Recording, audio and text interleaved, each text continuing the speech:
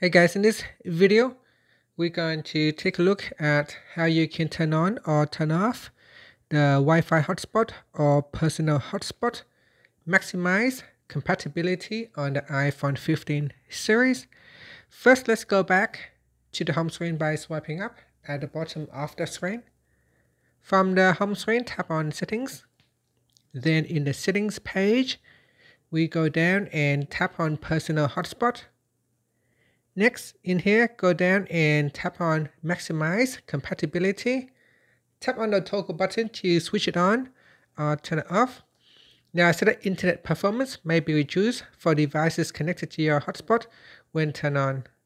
So typically, you would turn this on if you want to allow uh, another um, device that is quite old. So older device that uh, does not support newer uh, protocol, then you can switch it on and those uh, devices uh, will be able to connect to your hotspot.